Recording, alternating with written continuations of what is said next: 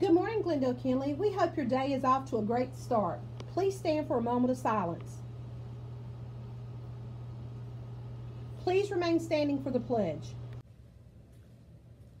I pledge allegiance to the flag of the United States of America and to the republic for which it stands, one nation, under God, indivisible, with liberty and justice for all.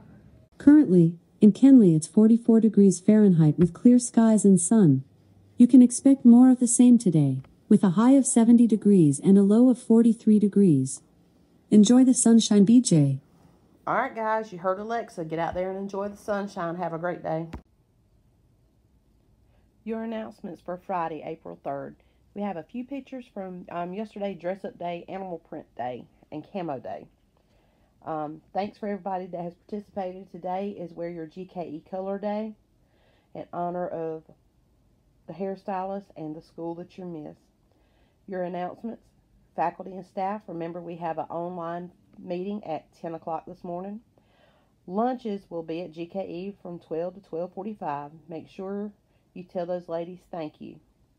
We would like to wish a very happy birthday today to Sophia Beltran and on Saturday to Amari Ellis and Joseph Hugert and on Sunday to Marley Rowe. Do something good today. Make your grandparents or make a friend a card and give to them. Now for our very special part of the newscast. We just got a letter. We just got a letter. I wonder what student or students it's from.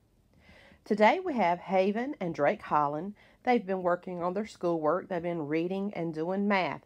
Keep up the good work, guys. Our next student is Brianna Harris. Brianna is using her time to catch up on some of her reading, and she has been working to make reading her reading better. She said that she has helped her dad with her car and has been keeping the living room clean. Hmm. Brianna, I wish you could come help me clean up my living room. All right, guys, today is Friday. We hope that you have a fabulous weekend. Remember, keep working hard on your schoolwork, read, write, and smile.